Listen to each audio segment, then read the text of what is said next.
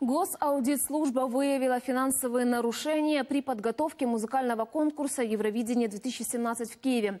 Почти полмиллиарда гривен – общая сумма несоответствия в бухгалтерском учете. Также больше 8 миллионов гривен недополучило национальное общественное телевидение.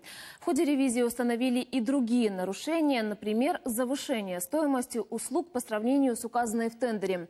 Материалы аудита переданы в правоохранительные органы.